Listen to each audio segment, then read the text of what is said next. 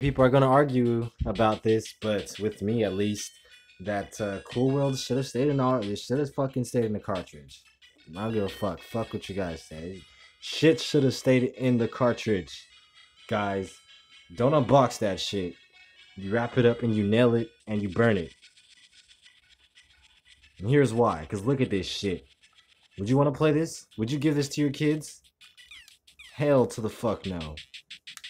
My kids will probably be dumb by the time they stop playing this game. They'd probably lose half of their lifespan, be frustrated as fuck, and just just irritated because this game, what this game is like. Why in the fuck was this an option?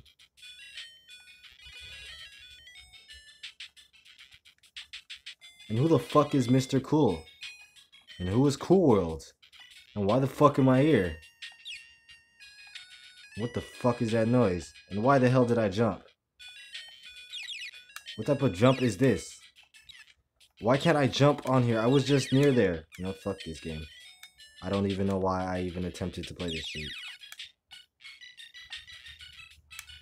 I don't understand this. I can't. What is the point? There, there maybe, maybe there isn't. Oh, I can jump on this one. The one before, nah. That's that's fucking property. That's that's sacred.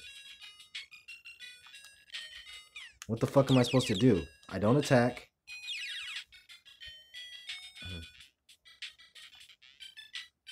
Some people say this game is playable.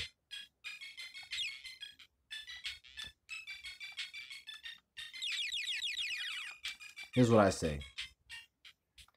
You play this shit, you're dumb. you're fucking rotten apple if you think this game is remotely generally playable. Oh, look, I can go up and down the screen. Where else did they do that from? Oh, Battletoads. Right.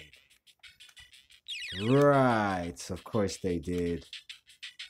Why the fuck did I drop down? Apparently, pressing A is a, is, is a drop down button, but that's all there's... What, what is the purpose? What is the fucking purpose? Why are you shooting at me? What did I do to you? I'm just a fucking guy in a white suit. Nope. I tried to, I tried to play this game nicely.